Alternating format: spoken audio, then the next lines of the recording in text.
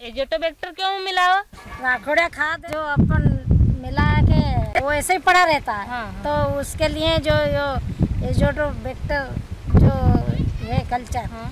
इसको मिला करके डालेंगे तो वो पौधों में मदद करता है। ये ट्राइकोडर्मा क्यों मिलाए हो तुम? ये इसके लिए मिलाते हैं कि ये पौधे को पौधे में डालते हैं इसको मिला करके बोते हैं। हाँ। तो इसमें वो जो बीमारी लगती है हाँ। तो वो बीमारी से बचाने के लिए जैसे झाड़ पौधे सूख जाते हैं जड़ें सूख जाती है इसके वास्ते मिलाते हैं। डाइकोडर्मा डालने से पौधे में वो फफूंद वाली बीमारी जो लगती है वो नहीं लगेगी। इसके लिए डाला।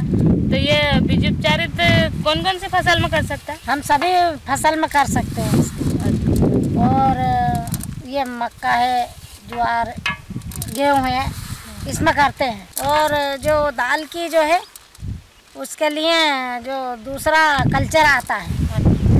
ये ये मिलता है एक किलो का पैंतीस रुपए का। और ये मिलता है ग्राम सेवक के पास। और ये रायकोड्रमा ये है इनकी कीमत है एक सौ अट्ठारह रुपये एक किलो। बीज उपचारित कर सावधानी काय काय रखना पड़ा? कम कर रखनी पड़े कि बीज उपचारित करते हैं हाँ। तो छाँव में करते हैं। हाँ। और बोते बोते मतलब बोने लग गए तो उतना ही बोते हैं उतना कर लेते हैं। फिर और बोना है तो फिर और कर लेते हैं। और इसको धूप में नहीं रखना।